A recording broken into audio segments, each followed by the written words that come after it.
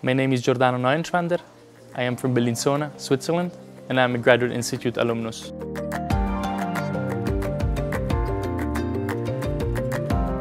I work for Singa Switzerland, a young organization that aims to connect people with and without refugee uh, or migrant backgrounds to collaborate in entrepreneurial projects.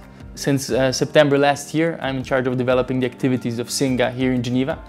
Our main program is the Singa Factory, which is a six-month startup incubator uh, for people from a refugee or migrant background who want to start a business here.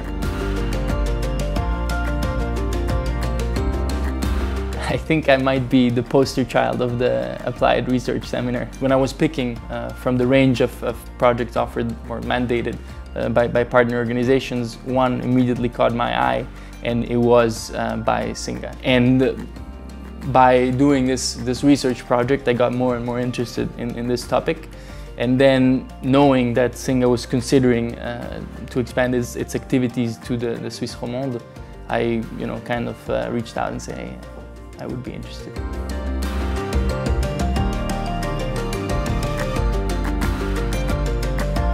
I graduated in September 2018 with a Master in Development Studies. One of the things that I appreciated the most at the Graduate Institute was the opportunity to meet and exchange with such a diverse group of interesting people, uh, fellow students from all over the world with uh, diverse backgrounds and walks of life and a lot of different experiences to share um, and in a way that nurtured the right state of mind to build bridges between different people uh, and be, be, open to learn from, from everyone and uh, that's a big part of my job.